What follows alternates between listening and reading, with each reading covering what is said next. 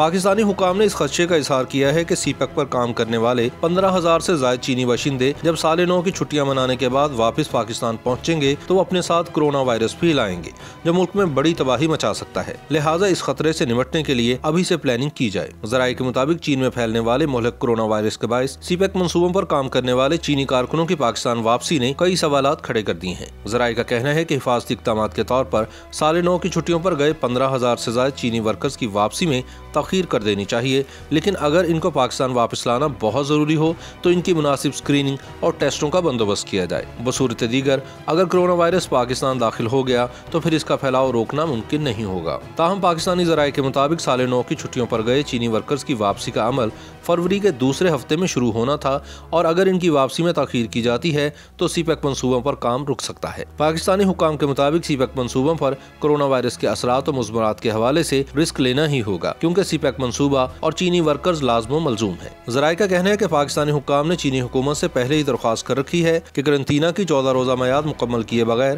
وہاں اپنے کسی بھی باشندے کو پاکستان واپس نہ بھیجے۔ تاہم سی پیک پر پارلیمانی کمیٹی کے سابق چیئرمین مشاہد حسین سید کی رائے میں چینی کارکنوں کی پاکستان واپسی میں تاخیر سے سی پیک منصوبے متاثر اور نتیجتاً ملکی اقتصادیات متاثر ہو سکتی ہے سی پیک منصوبوں کے علاوہ ہزاروں چینی کاروباری مقاصد یا دیگر منصوبوں پر کام کے لیے بھی پاکستان میں مقیم ہے مشاہد حسین کے مطابق سن دو ہزار سترہ وہ انتہائی وقت تھا جب زیادہ سے زیادہ سی پیک کے تحت منصوبے شروع ہوئے۔ اس وقت انیس ہزار پانچ سو تراسی چینی باشندے ان منصوبوں پر کام کر رہے تھے۔ سی پیک اور پاکستان کی اقتصادیات کرونا وائرس کے ممکنہ اثرات کے بارے میں مشاہد حسین سید نے اس بات سے اتفاق کیا کہ سن دو ہزار بیس کی اول دو سامائیوں میں چینی اقتصادیات میں کرونا وائرس کی وجہ سے سست روی آ جائے گی۔ تاہم، یہ بھی ایک سچ ہے کہ سی پیک منصوبے کی تمام تر ڈیزائننگ اور انجینئرنگ کا تمام تر کام چینی ماہرین کے ذمے ہے۔ جن کی موجودگی کے بغیر یہ منصوبہ آگے نہیں بڑھ سکتا۔